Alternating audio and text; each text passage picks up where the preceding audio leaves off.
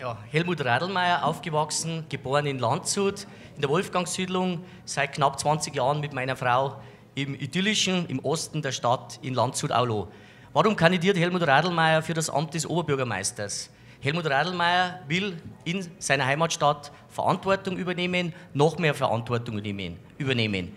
Ich bin seit jungen Jahren in der Politik aktiv über die Schülerunion, Junge Union, Arbeitskreis Hochschule und Kultur, seit 2002 im Landshuter Stadtrat und bin auch seit 2013 bayerischer Landtagsabgeordneter. Für mich ist wichtig, die Stadt Landshut weiter voranzubringen, auch mit den guten Kontakten nach München zu den Ministerien, zu den Behörden, was für mich das A und O sein wird.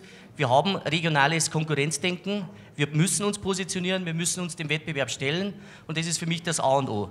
Zudem ist es wichtig, dass man insgesamt in der Kommunalpolitik Schwerpunkte setzt. Meine Schwerpunkte sind im Bereich der Finanzen und Wirtschaft ein solides Fundament, sparsam haushalten, sinnvolle, maßvolle Investitionen, aber auch Rücklagen bilden für Un Unvorhergesehenes. Und das genau ist die, der Spagat, den wir hinbekommen wollen, den ich hinbekommen will.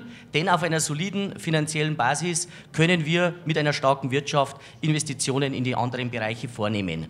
Und an diesem Hebel will ich ansetzen. Das zweite wird sein das Verkehrskonzept.